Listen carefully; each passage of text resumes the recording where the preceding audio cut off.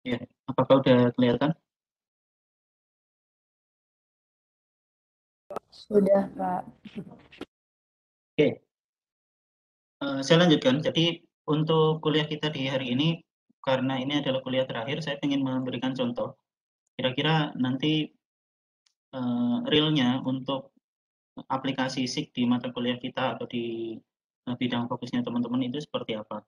Uh, saya ingin memberikan contoh ada studi kasus ya. Dan sekaligus nanti mungkin review beberapa materi yang kemarin uh, saya sampaikan ke teman-teman tentang uh, analisis dan juga sampai kemarin ke uh, proses bisnis SIG dari awal akuisisi data ya yang dijelaskan oleh Pak Diono ya, tentang sistem koordinat kemudian sampai ke uh, penyimpanan ya pengolahan sampai ke visualisasi. Nah ini ada uh, contoh studi kasus yang mungkin bisa diterapkan di sana. Nah untuk mempersingkat waktu saya sampaikan saja. Jadi ini pertemuan terakhir setelah uh, meet. Oh maaf Pak Dion malah banyak ya, malah ada uh, berapa pertemuan. Kalau setelah meet berarti satu ya, satu pertemuan uh, tentang konsep basis data SIG. Nanti barangkali dari beliau juga akan ada soal uh, UAS. Dan dari saya adalah semua yang kemarin saya sampaikan di slide yang sudah saya bagikan ke teman-teman termasuk uh, slide ini nanti. Nah, uh, ini akan kita bahas. Jadi kita akan mendiskusikan sedikit mengenai eh, review yang kemarin. Saya ingin memberikan lagi beberapa eh, contoh analisis spasial ya khususnya overlay. Karena kemarin saya belum berikan secara utuh, ya baru singkat saja. Meskipun mungkin uh, sudah teman-teman praktekkan di uh, studio. Kemudian yang kedua adalah analisis uh, spasial yang contoh realnya seperti apa.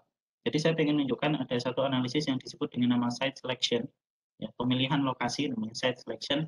Ini uh, nanti seperti apa yang akan di uh, yang perlu dilakukan untuk uh, contoh kasus semacam ini. Site selection ini contoh yang cukup umum dan bisa dibilang uh, barangkali nanti teman-teman sebagai seorang planner pasti akan menggunakan ini dalam uh, ranah yang sempit maupun yang luas. Dan yang terakhir nanti saya akan tunjukkan juga satu sistem informasi. Jadi karena judul uh, mata kuliah kita ini adalah sistem informasi ya goalnya sebenarnya adalah mendesain kalau dari data-data yang ada di GIS ya, kemudian dari eh, apa analisis yang kemarin saya sampaikan itu apa sih yang bisa dibikin? Saya berikan contoh satu sistem informasi yang eh, menggunakan analisis dan juga data-data yang kemarin eh, sempat saya sampaikan juga, yang itu nanti bisa menjadi eh, barangkali oh ternyata ini loh goalnya bahwa ketika kita membuat sebuah eh, analisis itu hasil akhirnya itu adalah sebuah sistem informasi. Ya, saya lanjutkan. Jadi, uh, seperti biasa kalau ada pertanyaan silahkan ditanyakan melalui Slido, uh, ini silahkan di foto atau dicatat dulu kode Slido-nya atau ke link yang ada di bawah. Silahkan nanti bertanya bukan hanya materi untuk hari ini tapi juga materi-materi yang kemarin monggo. Uh, kalau seandainya ada yang perlu diperjelas saya akan, uh, berikan jawaban yang kalau misalnya nggak cukup di pertemuan ini nanti saya jawab di bisa di video ya bisa di uh, chat ya, boleh di private chat kalian PM juga boleh. Kalau kalian udah punya nomor saya. Nah kemarin uh, sebenarnya ya seluruh materi kuliah yang kalian terima dari Pak Diono dan dari saya itu isinya adalah ini semua uh, alur ya, proses bisnis istilahnya bisnis proses dari GIS dari data itu dapat data itu diperoleh yang eh, kalau teman-teman geodesi mungkin pakai alat ukur gitu ya. Kemudian eh, dari satelit, kemudian dari eh, remote sensing, dari foto udara. Nah, dapat data kemudian diproses. Kemarin ada Pak Diana menyampaikan mengenai sistem proyeksi. Ada sistem proyeksi. Kemudian mengenai basis data. Dari data yang sudah diperoleh itu kemudian dimasukkan ke basis data. Dan eh, kemudian tentang analisis yang saya sampaikan ada analisis berbasis query, kita nanti ulang sedikit, kemudian berbasis vektor, berbasis raster, dan analisis tiga dimensi. Jadi eh, ternyata ya dari proses bisnis itu, kalau eh, dengan data masukan yang macam-macam, semakin banyak data, dan kemarin saya sampaikan di Go ya, garbage in, garbage out, ya. semakin banyak data, kemudian kita ternyata bisa menganalisis semakin banyak. Dan minggu lalu baru saya sampaikan mengenai outputnya. Output dari sebuah sistem JIS itu adalah visualisasi. Nah, saya belum menyampaikan minggu lalu bahwa ternyata outputnya itu bisa juga dalam bentuk sistem informasi visualization, sebuah uh, sistem informasi di mana user nanti bisa mengeksplor sendiri seperti yang ada di uh, pojok kiri bawah ini. Jadi sebuah sistem informasi kita berikan data, user bisa mencari sendiri datanya dari sistem informasi tersebut. Nah, di pertemuan kita yang pertama yang kita kita membahas mengenai query, saya sempat sampaikan mengenai ini. Uh, itu untuk menjawab pertanyaan. Pertanyaan seperti apa sih yang dijawab oleh uh, sistem informasi geografis ini? Sistem informasi geospasial ini jawab apa? Nah, uh, dari perjalanan kita ya sejak kita pertama ketemu di uh, beberapa pertemuan yang lalu sampai sekarang, teman-teman udah belajar ya bahwa ternyata pertanyaan-pertanyaan semacam ini nanti bisa diselesaikan bukan hanya sekali ya, bukan hanya dalam satu kali analisis, mungkin ternyata butuh lebih dari satu tahapan, lebih dari satu cara, ya, lebih dari satu langkah untuk menyelesaikan pertanyaan ini. Misalnya jika jalan ring road diperlebar 5 meter, berapa jumlah total ganti rugi untuk para pemilik tanah? Kemarin sempat saya berikan contoh ya, kalau misalnya ada uh, jalan yang diperlebar, kemudian uh, berapa jumlah total ganti rugi. Ternyata bisa dihitung. Nah, uh, ini ya yang saya sampaikan semacam ini, ini adalah pertanyaan yang bisa dibilang masih simpel. Pertanyaan yang bisa dibilang masih uh, cukup simpel. Dan uh, kalau misalnya teman-teman nanti explore lebih jauh, sebenarnya pertanyaan-pertanyaan yang nanti akan teman-teman jumpai sebagai seorang planner itu nggak akan jauh-jauh dari semacam ini nggak akan jauh-jauh dari semacam ini. Nanti kalau misalnya saya mau membangun uh, sebuah uh, misalnya stadion ya di Kulon Progo misalnya, stadion terbesar di Indonesia Raya misalnya. Mau saya bangun di Kulon Progo. Kira-kira berapa luasnya yang dibutuhkan? Ya. Kemudian akses jalannya bagaimana? Ya. Kemudian misalnya uh, ketersediaan air misalnya ya atau kemudian uh, jarak ke populasi penduduk seperti apa dan seterusnya. Nah, itu eh, contoh-contoh pertanyaan yang nanti akan melibatkan GIS sehingga ya uh, tidak salah kalau mata kuliah ini kemudian diberikan ke teman-teman di awal sekali sehingga agar teman-teman punya gambaran nanti wah ternyata sebagai seorang planner saya bisa menganalisis kalau dari data-data semacam ini kesimpulannya apa. Nah dari satu dua tiga empat lima contoh yang saya berikan ini ada satu contoh yang sebenarnya merupakan site selection pemilihan lokasi yaitu apa yaitu yang ini di mana lokasi ideal untuk sekolah yang dekat dengan jalan utama, ya, entah jalan kabupaten misalnya atau mungkin jalan provinsi, tapi nggak terlalu bising. Kok iso ya? Ada kan banyak. Jaraknya tidak jauh dari jalan utama, aksesnya mudah, tapi nggak terlalu bising. Artinya eh, di situ tidak ada pusat keramaian, misalnya mall atau yang lain ya. Kemudian eh, akses dari jalan juga tidak eh, terlalu dekat, tapi tidak terlalu jauh. Ya, misalnya mungkin sekitar 100 eh, atau 200 meter. Nah, jadi uh, ini contoh site selection, bagaimana kalian nanti menggunakan analisis GIS untuk memilih uh, lokasi mana yang ideal untuk kasus kalian. Nah, uh, kita coba akan diskusikan nanti site selection nah, setelah saya coba review dulu ya uh, mengenai analisis spasial. Kita sudah bahas di awal pertemuan bahwa ada dua macam analisis spasial. Yang pertama itu hanya nanya doang, nanya doang nanti JIS akan memberikan jawabannya. Yang kedua itu memproses. Kita e, menanyakan pertanyaan yang kemudian jawabannya itu berupa e, sebuah e, peta juga, ya, sebuah data juga. Jadi e, spatial query itu tidak menghasilkan data baru, bioprocessing itu menghasilkan data baru karena ada proses pemotongan, overlay dan lain sebagainya. Saya ingin mendetilkan secara khusus mengenai overlay. Kenapa? Karena e, nanti ya ketika kita membicarakan mengenai analisis seperti site selection, kalian nanti akan sangat sering menggunakan analisis overlay ini. Jadi saya merasa perlu untuk mengulang dan mendetilkan apa sih yang dimaksud dengan overlay function, yaitu bagian dari ini, geoprocessing. Oke, jadi eh, kemarin saya sampaikan ya, geoprocessing itu ada beberapa macam. Salah satunya adalah overlay function. Bagaimana kita mengkombinasikan beberapa layer yang ada di GIS untuk mendapatkan sebuah kesimpulan dari layer-layer tersebut.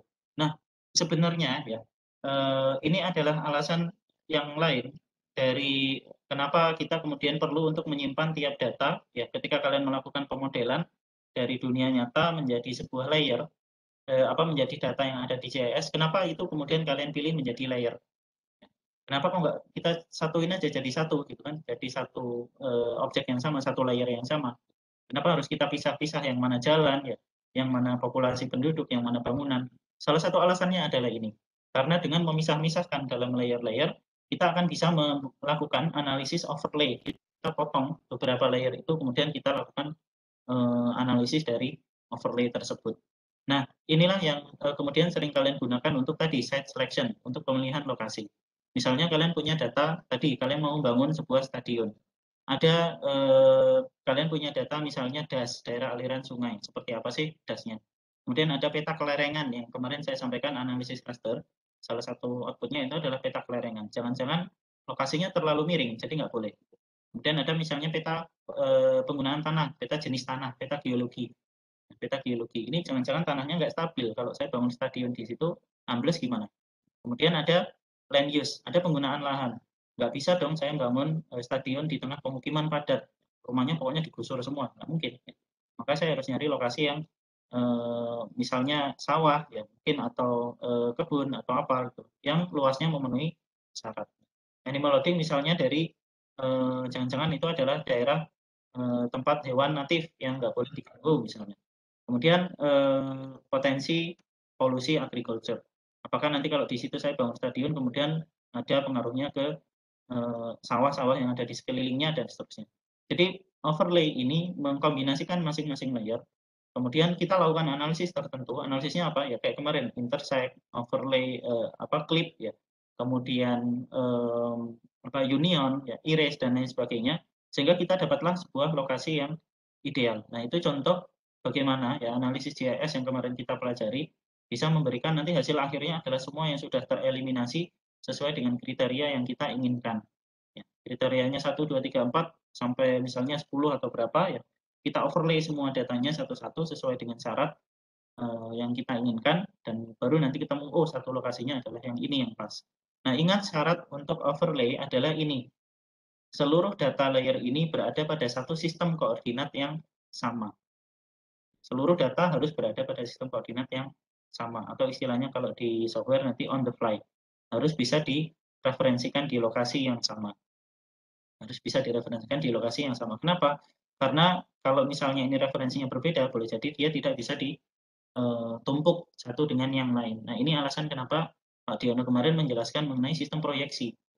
Kalau misalnya kalian salah memilih, boleh jadi datanya lokasinya sama ya, tapi layer yang satu dengan layer yang, lain tidak bisa di overlay, nggak bisa ditumpukin. Yang satu lari ke sana, yang satu di sini, nggak akan bisa numpuk. Nah itu alasan kenapa kita perlu belajar sistem koordinat kemarin. Nah, contohnya semacam ini. Saya punya layer A, saya punya layer B, masing-masing ada atributnya ya. Misalnya layer A ini adalah eh, badan air ya, badan air atau water body. Di situ ada sungai, ada danau, ada macam-macam. Layer B ini misalnya jalan. Kita tumpukkan keduanya ya. Kemudian kita lakukan analisis. Nah, inilah analisis overlay. Analisisnya apa? Macam-macam ya. Kita bisa misalnya hitung ini point in polygon. Saya punya layer titik sumur. Ya, saya pernah nyontohkan ini uh, dengan contoh yang lain. Saya punya titik batas uh, desa misalnya sumur dan batas desa titik-titik sumur titik-titik batas desa e, kalau tugas kalian misalnya untuk mencari sumur-sumurnya itu terletak di desa mana saja ya pemilik sumur ini ya, sumur-sumur ini letaknya di desa mana saja misalnya maka kalian lakukan analisis overlay ini dua duanya dikombinasikan baru kemudian kita bisa ketahui oh ternyata ini adalah pemilik e, si A itu berada di batas poligon yang ini nah ini contoh overlay yang sederhana Kemudian ini beberapa analisis overlay, saya cepat saja, karena ini toh sudah kalian pelajari ya. E, barangkali yang harus dibedakan, dan biasanya keluar di ujian, itu adalah ini. E, apa bedanya antara clip, intersect, dan union? Ini contoh sederhana yang e, orang sering lupa. Apa perbedaan antara clip, namanya hampir sama, clip, kemudian intersect, inputnya juga sama, union. Apa bedanya clip, intersect, dan union? Kalian bisa lihat dari keluarannya kalau klip layer asalnya nggak ikut, dia fungsinya hanya pemotong. Ini adalah gunting. Ini adalah gunting. Kalau intersect, layer asalnya ikut. Layer asalnya ikut. Jadi dia ikut memotong dan kemudian di keluaran hasil akhir dia ada di situ.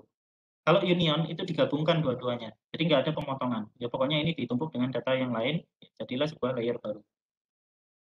Nah, ini uh, tiga contoh overlay function yang sering di gunakan untuk keperluan analisis spasial. Nanti kita lihat contohnya ya bahwa ternyata ini bisa kita pakai untuk tadi ya, untuk memilih lokasi ya, untuk menyeleksi luasan misalnya luasan hutan mana yang ada di luar ini dan lain sebagainya. Ini adalah klik ya. Jadi eh, kita potong hasil akhirnya semacam ini, hasil akhirnya semacam ini, tapi atribut klipnya ya, atribut klipnya itu enggak ikut, enggak ikut masuk di data keluaran. Kemudian ini intersect ya, kedua atribut ya, atribut dari input dan atribut dari eh, data yang dipotong itu sama-sama masuk ke hasil akhirnya. Jadi kita bisa tahu eh, apa catchment ini ada di county yang mana. Nah, inilah yang tadi dipakai di analisis ini. Sumur ini dengan ini, ini analisisnya adalah intersect bukan clip. Intersect bukan clip. Karena kalau clip kita nggak tahu county-nya, ininya hilang informasinya.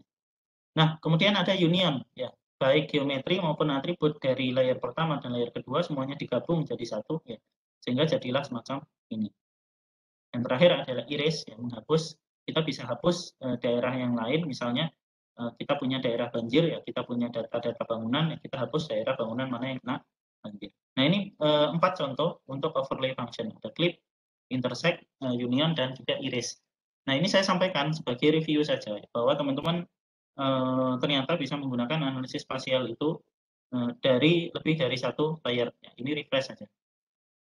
Nah, kemudian kita akan coba membahas jenis-jenis analisis spasial.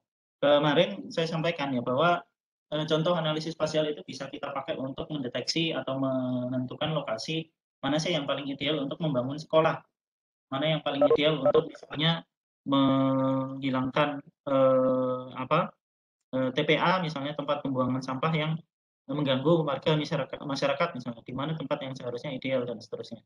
Nah, analisis spasial itu bisa kita bagi menjadi tiga macam besar sebenarnya. Yang pertama adalah mendeskripsikan masa lalu, mendeskripsikan masa lalu. Yang kedua mendeskripsikan masa kini, ya, analisis yang ada sekarang sebenarnya ini bisa dibilang hampir sama. Kemudian yang ketiga adalah memprediksi masa depan. Jadi analisis spasial itu ada tiga macam kita memprediksikan eh, apa menjelaskan masa lalu, kita menjelaskan masa kini dan juga kita memprediksikan masa depan. Kita menjawab pertanyaan tentang masa lalu, kita menjawab pertanyaan tentang masa kini ya, kemudian memprediksi masa depan. Oke, saya berikan contoh eh, masing-masing. Untuk yang pertama ya, mendeskripsikan masa lalu. E, misalnya nanti kita akan bahas ini dan kita akan berikan contohnya. Kita pengen tahu ya, e, setelah Merapi meletus, daerah mana saja yang uh, terdampak oleh letusan Merapi, oleh istilahnya modus gembel ya, oleh modus gembel, uh, apa aliran uh, lahar dari Merapi yang sebenarnya modus gembel bukan lahar ya, lahar piroklastik awan ya, awan yang sangat panas yang keluar dari Merapi ya, itu kenanya di mana saja. Kejadiannya sudah berlalu ya, kejadiannya sudah berlalu. Kita sudah punya datanya.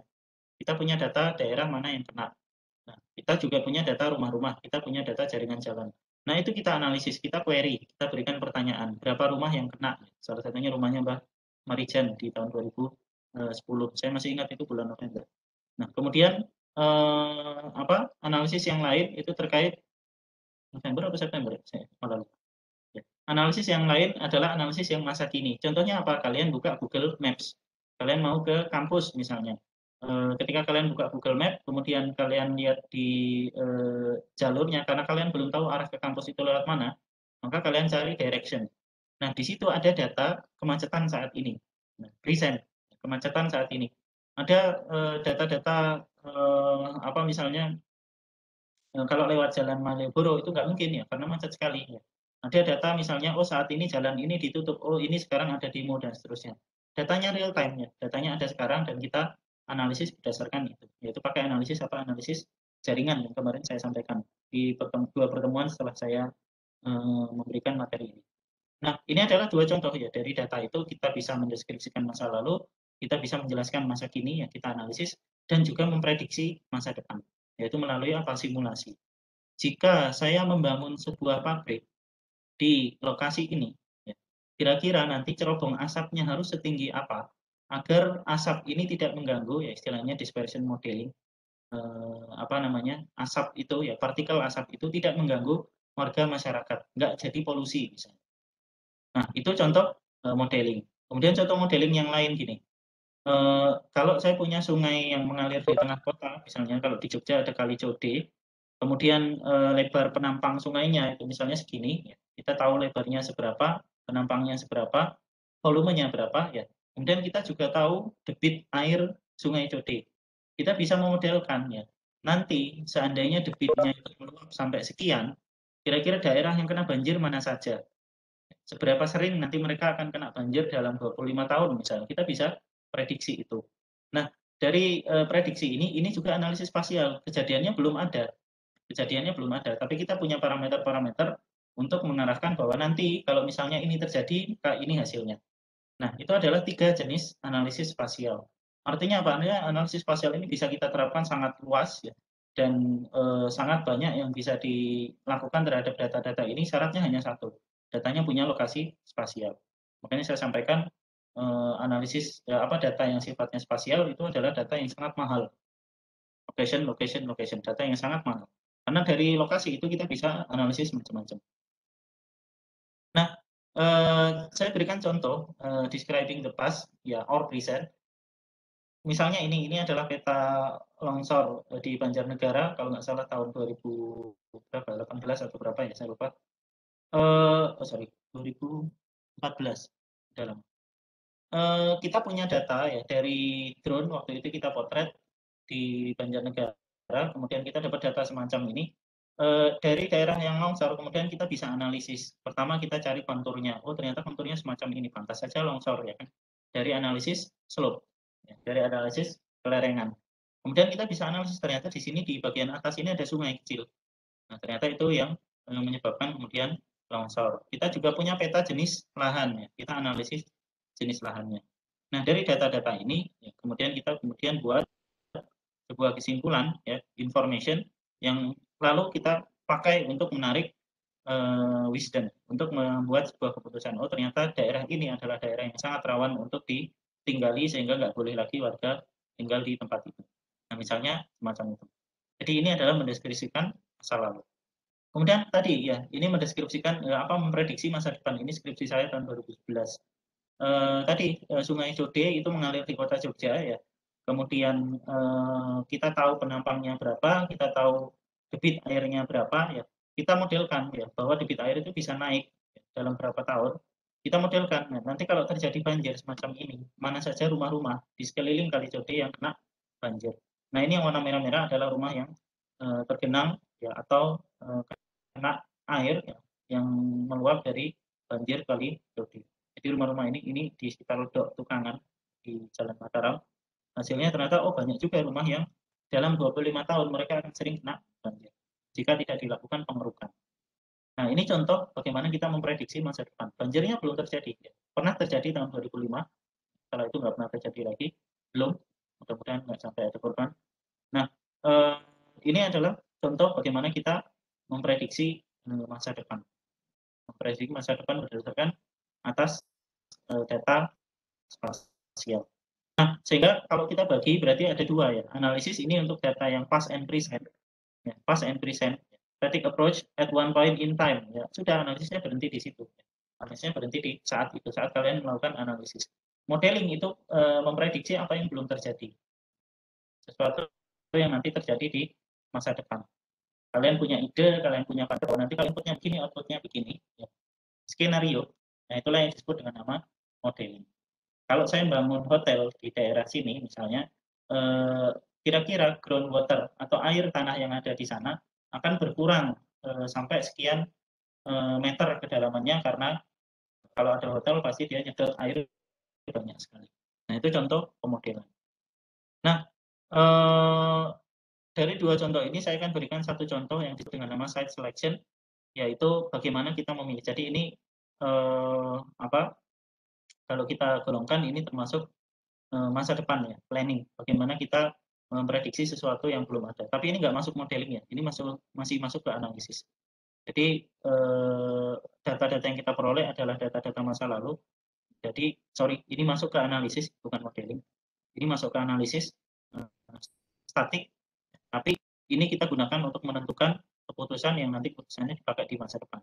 Jadi belum tentu yang dipakai di masa depan ini tadi Eh, segala sesuatu yang sifatnya simulasi.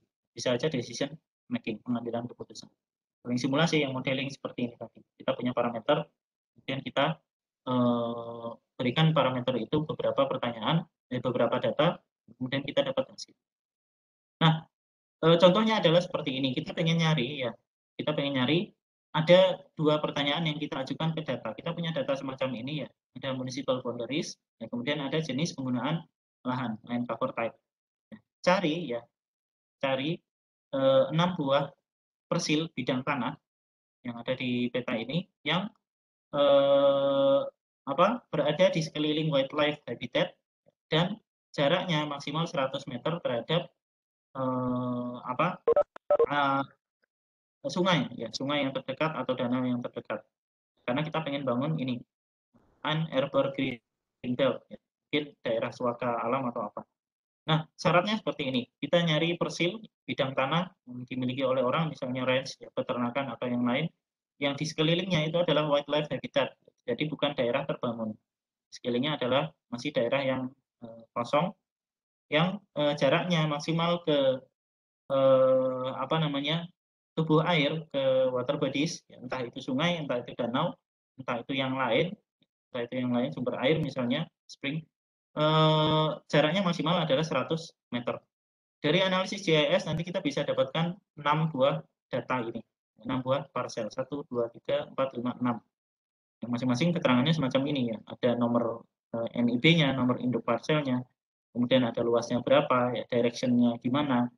Direction berarti uh, arah menghadap kemiringannya ke mana, kemudian luasnya berapa, dia ada di lokasi apa, ya, dan juga di municipal sendiri yang mana.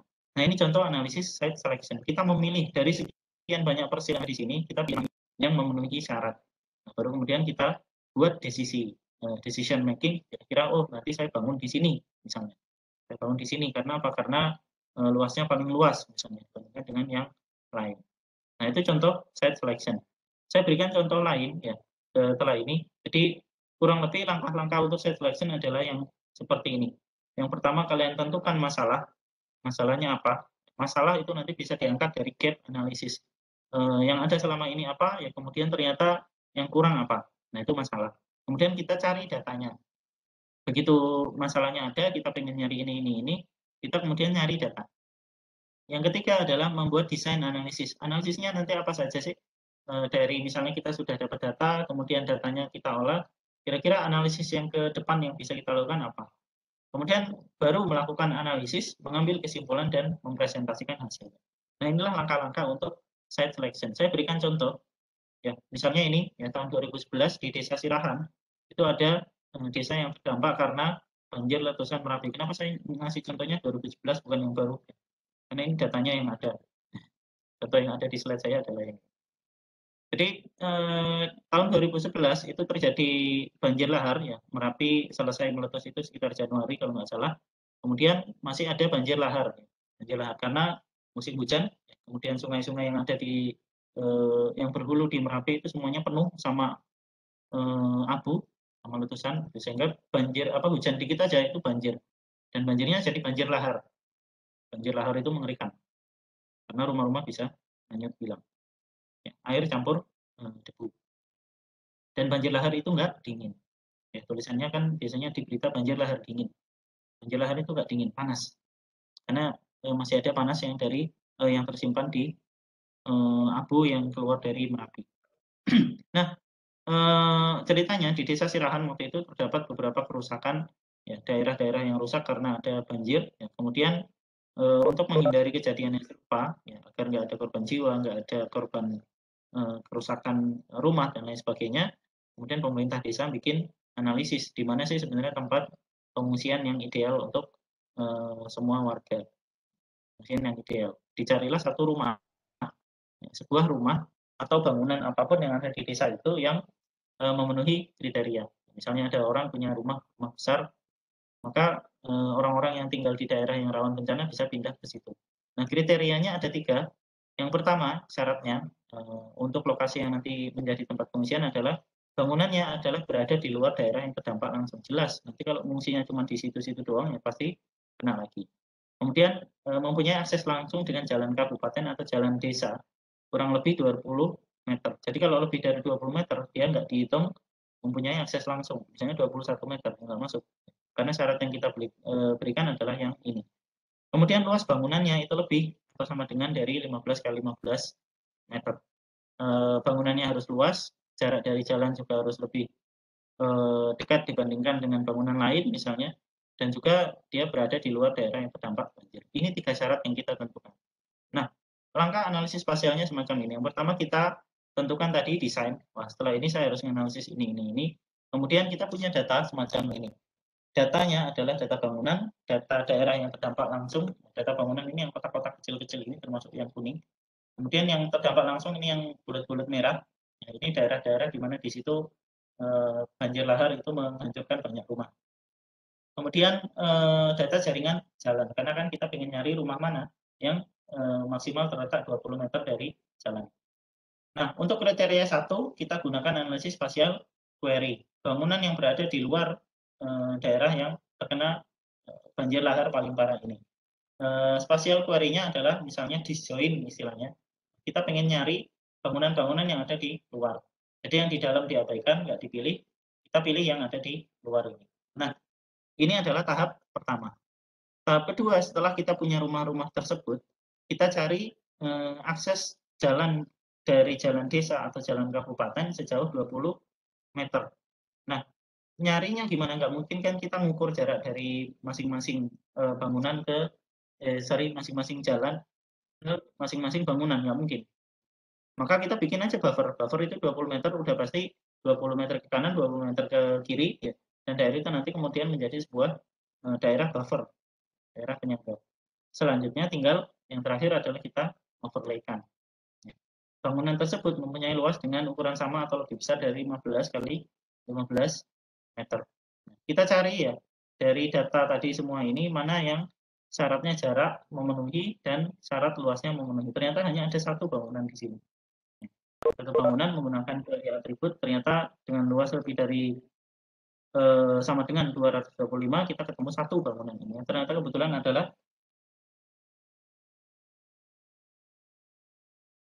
Sorry. Mohon maaf saya angkat telepon sebentar.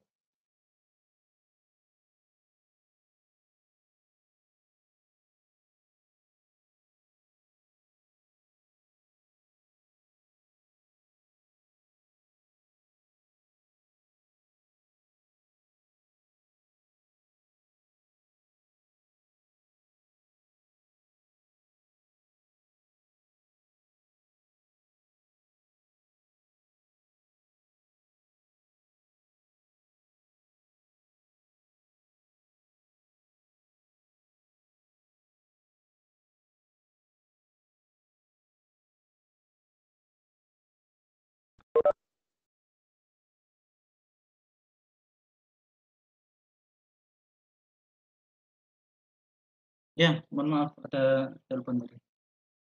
Oke, saya lanjutkan. Jadi eh, bangunan yang kita cari eh, kriteria ketiga itu adalah bangunannya punya ukuran eh, sama atau lebih besar dari 15 kali 15 meter. Nah, eh, 15 kali 15 meter ini berarti luasnya adalah luas minimum. Ya, luas minimum. Artinya apa? Kita bisa cari ya. Kita nggak bikin bangunan eh apa? Kita nggak bikin analisis baru. Kita hanya mencari dari bangunan yang sudah ada itu atributnya yang luasnya lebih dari 225 itu yang mana. Nah, ketemulah satu bangunan ini. Nah, itu adalah contoh bagaimana kita menerapkan sebuah analisis spasial, ya, site selection, untuk memilih lokasi. Tadi ada kriteria-kriteria, kemudian kita pilih lokasinya. Nah, sekarang, eh, kalau misalnya, ya, kalau misalnya kita pengen melakukan analisis spasial yang lain, ada yang mau mengasih contoh, nah, contoh lain, ya, kira-kira site selection yang eh, bisa diterapkan dari contoh semacam itu kayak gimana?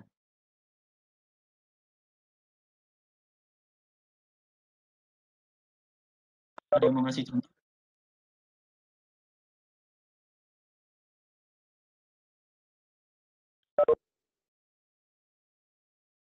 Pikiran nggak? Kira-kira uh, saya mau menganalisis sesuatu ya berdasarkan uh, apa analisis-analisis GIS yang kemarin saya pelajari, uh, keluarannya semacam ini, keluarannya semacam ini, langkah-langkahnya semacam ini. Nanti mungkin itu yang akan saya tanyakan di ujian. Nggak ada? Ya, kalau nggak ada, saya simpan aja buat ujian. Nah, terakhir saya pengen menunjukkan satu contoh sistem informasi yang digunakan, yang dibangun untuk keperluan analisis spasial. Ini Citaru namanya, sistem informasi tata ruang yang saya buat di Jogja 2012. Uh, wujudnya semacam ini. Jadi tujuannya adalah untuk menyatukan semua data ini. Ada data RDTR, rencana detail tata ruang. RDTR itu apa sih? Isinya ya misalnya Eh, kita punya uh, perizinan ya di sebuah lokasi misalnya alun-alun itu boleh diapain aja. Apakah alun-alun kota Jogja itu boleh dibongkar misalnya? Ternyata nggak boleh karena masuk ke cagar budaya. Bangunan yang ada di sepanjang Malioboro misalnya boleh nggak? Ternyata nggak boleh. Nah, kalau misalnya saya punya sawah di kota Jogja, boleh nggak saya bangun rumah di situ? Nah, itu namanya rencana detail tata ruang. Nah, e, rencana detail itu nanti termasuk juga misalnya tinggi bangunan. Nanti bangunan saya tingginya boleh sampai seberapa. Koefisien dasar bangunan KDB, nanti kalian belajar ini. Koefisien luas bangunan, luasnya berapa sih yang diizinkan di e, lokasi itu. Kemudian koefisien dasar hijau, berapa luas yang minimal yang harus saya berikan agar e, daerah itu nanti ditanami tanaman-tanaman hijau. Nah, dan lain sebagainya. Jadi kalau saya pengen membangun sebuah ruang terbuka hijau, misalnya di eh, persawahan, kira-kira boleh atau enggak? Nah, itulah eh, tujuan sistem informasi ini dibangun. Data ini sangat kompleks ya. Data ini sangat kompleks, ada banyak sekali ya jenis kegiatan ya. Kemudian nanti ada istilahnya ITBX, ya, diizinkan, ya terbatas, kemudian bersyarat dan tidak diizinkan. Ini eh, kesimpulan dari kalau misalnya Bapak Ibu kalian pengen, wah saya mau bangun rumah di daerah sini, itu boleh atau enggak? Wah ternyata rencana tata ruangnya di situ adalah sawah. Nggak boleh, kecuali kita lakukan pengeringan. Nah, ini contoh, eh, selama ini itu pegawainya pakai dokumen semacam ini. Jadi begitu ada permohonan, saya mengajukan eh, apa kegiatan ini di lokasi ini. Nah, persilnya di sini. Kemudian ketika diajukan, ya maka pegawainya itu akan buka-buka dokumen, dicari mana saja saya, oh ini. Ya, kemudian diizinkan atau enggak. Habis itu lihat dokumen yang lain, lihat dokumen yang lain. Nah, ini semua ya, kita punya data spasial, kita punya data atribut. Ini semua bisa kita kombinasikan ke dalam sebuah basis data, yang basis data itu kemudian memungkinkan kita untuk menanyakan pertanyaan yang lebih detail terkait dengan e, semua atribut yang ada di sini. Ya, karena basis data kemarin Pak Diono sudah menjelaskan, ada lebih dari satu kolom, lebih dari satu tabel, ya tabel-tabelnya bisa saling terkait. Kemudian kita kombinasikan dengan analisis spasial. Ya, ketika kita klik di satu titik, analisis spasialnya adalah point in polygon. Titik itu masuk ke poligon mana saja. Ada data RDTR, ya, rencana detail tata ruang, ada persil. Nah, diambillah atributnya, kemudian kita lihat uh, kelas kegiatannya seperti apa. Nah, ini tampilannya. Jadi, ini tampilan 2018 ya, sekarang sedang diperbaiki, belum selesai. Akhir tahun selesai. Nah, ini adalah data rencana detail tata ruang waktu itu, 2018. Kemudian kalau e, pengguna nanti ngeklik satu titik, nanti akan muncul seperti ini. Ya. E, zonanya adalah cagar budaya, kemudian e, cagar budayanya kita pengen bangun apa, misalnya hutan kota. Ya, di e, Stadion Pridasono misalnya, saya pengen membangun hutan kota di situ. Ternyata diizinkan, memang fungsinya untuk itu. Nah, kalau e, selanjutnya e, dari koefisien KDB, ya, KLB, terus KDH dan lain-lain kita masukkan ya luas tanahnya berapa, luas bangunannya berapa, tinggi dan seterusnya. Kemudian kita periksa, kita cek, oh ternyata semuanya diizinkan. Kecuali KLB, KLB-nya melebihi batas. Oh sorry, KDB-nya juga melebihi batas. Koefisien dasar bangunan luas tanahnya 123, kok luas bangunannya 122. Nggak boleh. Nggak boleh. Karena melebihi batas 80%. Tinggi bangunannya ternyata 12 eh, meter. Ternyata Eh, memenuhi syarat maksimal. Ini maksimal 12 meter di stadion itu. Ini stadion apa? Oh sorry, Benteng Redbook. Di Benteng Redbook itu adalah segitu. Jumlah lantainya adalah dua. Nah, jadi ini adalah e, melibatkan analisis yang ada di e, geometrinya ya, dan juga ada di atributnya. Ini hal-hal ini kita peroleh dari atribut. Kemudian tadi yang kita klik kemudian muncul informasinya itu adalah dari spasialnya. Nah, kemudian setelah itu bisa dicetak, ini yang nanti dibawa ke eh, untuk diizinkan atau tidak diizinkan. Nah, ini yang salah satu contoh sistem informasi yang kita bangun dan sistem informasi perencanaan ini juga bisa eh, dipakai ya, oleh sebenarnya dipakai hanya oleh pegawai. Jadi mungkin kalian nggak akan lihat di sini. Eh, ketika nanti ada permohonan untuk mengajukan izin. Nah, itu eh, beberapa dari saya ya. Terakhir untuk kuliah ini saya sampaikan di mana kalian bisa nyari bantuan. Ada yang suka mainan Telegram, nanti silakan dicek di sini. Eh, ada kita punya komunitas JIS Indonesia. Ini namanya JIS Indonesia ya, tapi isinya juga banyak planner di situ. Barangkali dosen kalian juga ada di sana. Eh, di sana nanti kalian silakan nanya eh, apa pun yang terkait dengan CIS secara umum atau nanti terkait dengan uh, planning juga boleh monggo karena itu masih masuk juga dalam ranah CIS terkait software atau terkait ini boleh. Jadi nanti uh, silakan gabung ke JIS ID. Kebetulan saya adminnya. Kemudian ada JS Community, uh, QGIS Community. Ini uh, kalau kalian kemarin pakai QGIS dan merasa kesulitan, ini adalah komunitas developernya. Yang bikin QGIS itu kumpulnya di sini. Yang bikin QGIS kumpulnya di sini. Jadi kalau kalian mau nanya langsung, ini internasional ya. Jadi mau nanya langsung ke yang bikin QGIS, fungsi ini maksudnya apa? Kalian bisa masuk ke sini. Dan kemudian kita juga punya komunitas di Indonesia. Ada namanya QGIS Indonesia. E, nanti silakan gabung di sini yang punya Telegram t.me slash Indonesia. E, di situ nanti juga kalian bisa nanyakan segala sesuatu tentang QGIS. Segala sesuatu tentang QGIS. Kita juga punya e, meeting tahunan. Kalau kalian nanti gabung komunitasnya, kalian bisa dapat satu tumbler cantik nanti kalau udah gabung. Uh, yang kalau nggak salah rencananya tahun depan kita adakan meetingnya di Jogja. Ini uh, beberapa komunitas yang bisa kalian cari kalau misalnya kalian menggunakan QGIS, bingung atau mau nanya data misalnya kalau saya mau dapat data ini di mana nanti bisa kalian tanya di QGIS ID ini uh, kalau saya pengen uh, tool untuk analisis ini seperti apa ya kalian bisa tanyakan di tiga forum. Kita juga punya forum lain ya ada forum namanya OSGeo Open Source and Geospatial jadi eh, apa komunitas yang di situ nggak berbayar. Kalian mau analisis spasial pakai software yang gratisan, nanti nanyanya di situ. Tapi ini tiga yang menurut saya cukup penting untuk teman-teman ketahui. Eh, kalian bisa cari Explore Hub di sini. Silahkan. Nah, eh, komunitas tadi juga bikin banyak tutorial di YouTube. Silahkan kalian cari ya. Eh, tutorial bahasa Indonesia cukup banyak. Ini salah satu yang saya rekomendasikan dari Mas Iwan.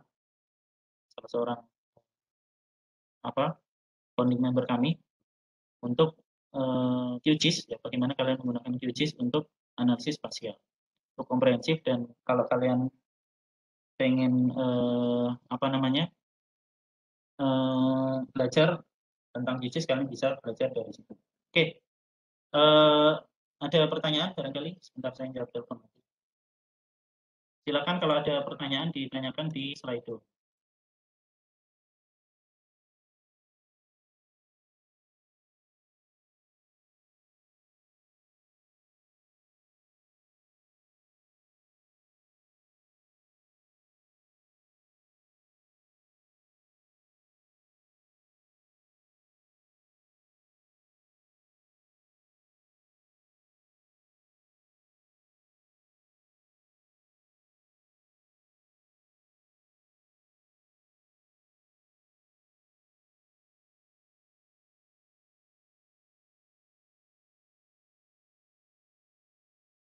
Ya, mohon maaf, uh, uh, orang mengatakan sesuatu.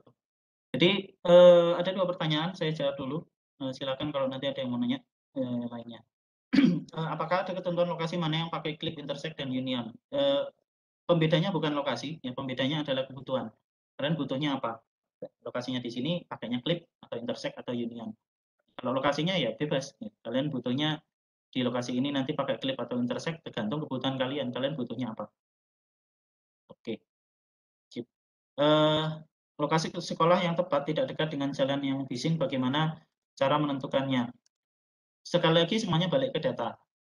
Misalnya uh, kita bisa dapat data tingkat kebisingan di kota Jogja. Ya. Uh, kalau Jogja mungkin nggak ada. Di Jakarta atau Surabaya itu ada sensor yang dipasang untuk menentukan tingkat kebisingan. Nah dari data itu kita bisa cari ya lokasi mana yang kira-kira nggak bising. Bising itu ukurannya juga macam-macam ya. Satuannya nanti desibel. Ya. Bising itu ukurannya macam-macam. Misalnya tadi saya bilang kalau misalnya ada jaraknya itu sekitar eh, 100 atau 200 meter dari mall itu jelas pasti bising banyak orang keluar masuk ya banyak ini. Kemudian ada beberapa jenis eh, penggunaan bangunan yang juga bising, misalnya cuci mobil, ya, kemudian kafe, karaoke dan lain sebagainya. Nah itu eh, kriterianya kita kumpulkan aja. Jadi tadi eh, ketika kita menentukan kriteria untuk site selection, kita yang menentukan. Kalian yang menentukan nanti sebagai planner yang tahu.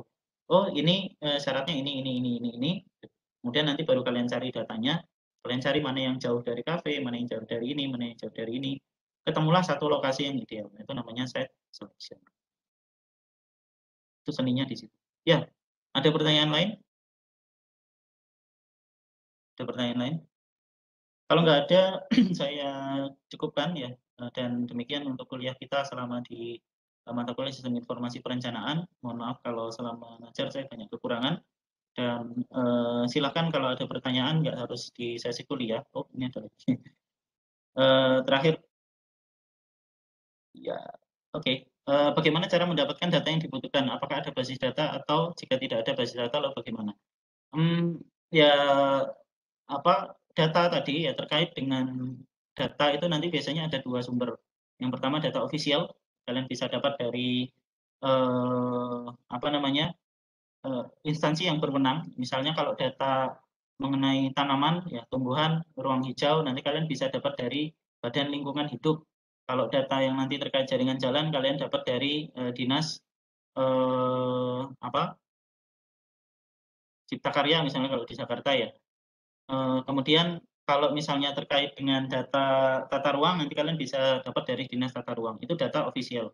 Data yang kedua yang non official kalian bisa dapat dari mana aja. Banyak sumbernya dan eh, apa jelas saya nggak mungkin jelasin satu-satu semua sumber itu. Eh, intinya kalian bisa nyari data sendiri, kalian bisa nyari dari data yang sudah ada. Nah, penyedia data itu nanti biasanya teman-teman geodesi.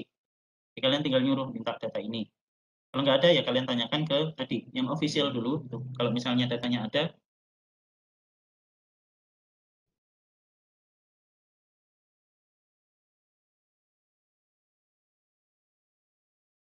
Bentar ya.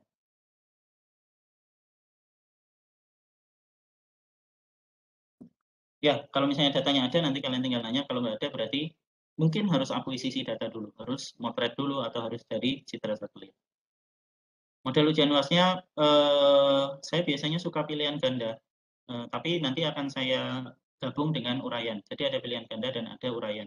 Karena Pak Diono juga biasanya sukanya uraian. Kalau dari saya kebanyakan pilihan ganda. Eh, ujiannya nanti via elok saja. Via elok ya. Ya, via elok saja atau via Google Form. Nanti saya akan infokan. Uh, tapi saya juga belum nanyakan lagi mekanisme ujian yang di PWK seperti apa nanti saya konfirmasi lagi ya di grup ya. Sorry, belum sempat nanya. Uh, kenapa tiap fungsi jenis data layernya dipisahkan? Pertama itu logis ya kita di GIS itu membedakan tiga jenis data. Ada titik garis luasan kalau data vektor. Nggak mungkin kan kita punya data rumah kita gabung dengan data jalan menjadi satu layer. Ya, kalau yang semacam itu nanti namanya CAD, Computer Edit Design. Tapi dalam GIS ya, yang bentuknya poligon dengan yang bentuknya garis harus dipisah. Yang kedua, kalau kita punya eh, apa rumah ya, kemudian jalan, kemudian titik-titik pohon misalnya atau titik-titik tiang listrik, tentu akan lebih mudah untuk memanajemen datanya dibandingkan kalau semuanya kita gabungkan jadi satu, lebih rumit. Lebih rumit untuk eh, kita analisis nantinya. Dan yang ketiga tadi yang saya jelaskan, dengan memisahkan data di tiap layer, maka kita akan bisa memungkinkan melakukan overlay antar layer tadi. Kalau satu layer nggak bisa di overlay, nggak bisa kita tumpuk satu dengan yang lain kemudian dipotong misalnya di intersect nggak bisa. Maka tujuan kita memisahkan layer adalah kurang lebih ada tiga ya ada pertanyaan lain? Pikir nggak ada ya? Jadi sudah beneran saya tutup. Eh, mohon maaf kalau selama ngajar banyak kesalahan dan silakan kalian gabung ke tadi forum-forum itu. Di Telegram eh, banyak yang akan menjawab teman-teman saya dari pengembang software dari apa Eh, penggiat komunitas dari Bapak Ibu dosen itu banyak juga yang ada di sana. Dari mahasiswa banyak sekali, biasanya nanya tugas akhir di situ. Silakan kalian gabung dan tanya-tanya apa pun tentang GIS. Nah, eh, saya kira demikian ya saya cukupkan. Terima kasih untuk perhatiannya. Mohon maaf kalau ada kesalahan selama saya mengajar. Eh, terima kasih. Assalamualaikum warahmatullahi wabarakatuh. Waalaikumsalam warahmatullahi wabarakatuh. Terima kasih banyak Pak. Ya, Pak. Sehat selalu. Terima kasih Pak.